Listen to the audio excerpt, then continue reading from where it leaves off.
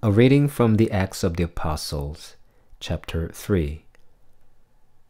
One day, Peter and John were going up to the temple at the hour of prayer at three o'clock in the afternoon. And a man lame from birth was being carried in. People would lay him daily at the gate of the temple called the Beautiful Gate, so that he could ask for alms from those entering the temple. When he saw Peter and John about to go into the temple, he asked them for alms. Peter looked intently at him, as did John, and said, Look at us. And the man fixed his attention on them, expecting to receive something from them. Peter said, I have no silver or gold, but what I have I give you.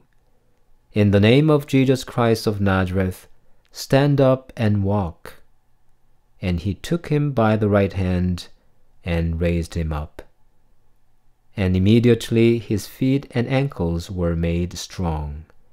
Jumping up, the man stood and began to walk, and he entered the temple with them, walking and leaping and praising God. All the people saw him walking and praising God, and they recognized him as the man who used to sit and ask for alms at the beautiful gate of the temple. And they were filled with wonder and amazement at what had happened to him.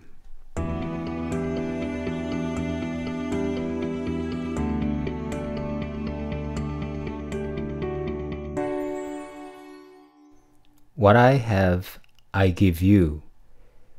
This is what St. Peter had said to the man born lame before he healed him. St. Peter received not silver or gold, but the power to heal in the name of Christ Jesus. And he shared this gift freely. Here, nothing is unusual. This is common sense. We give what we have.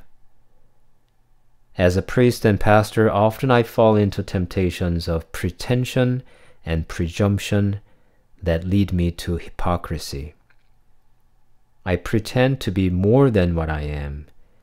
I presume to enjoy certain power and grace.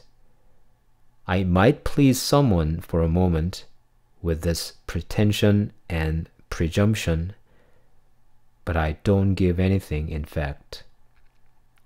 This pandemic tests what I really have as a man, as a priest, and as a pastor.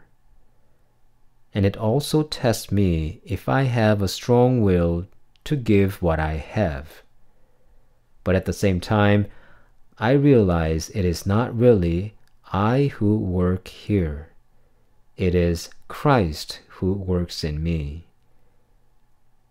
Before Jesus fed those thousands of people, he had asked his disciples to feed them.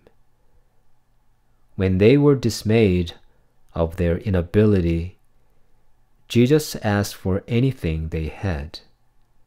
A boy offered Jesus five loaves of bread and two fish, and they were enough for Jesus to cause the miracle. Whatever I give Jesus, he will multiply.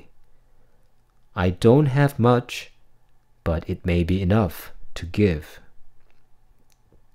This pandemic seems a difficult time to share because we cannot easily meet people. But please do share whatever you already have. Time is a great thing to share now. With those at home, you may renew and deepen your relationships with them by sharing more time.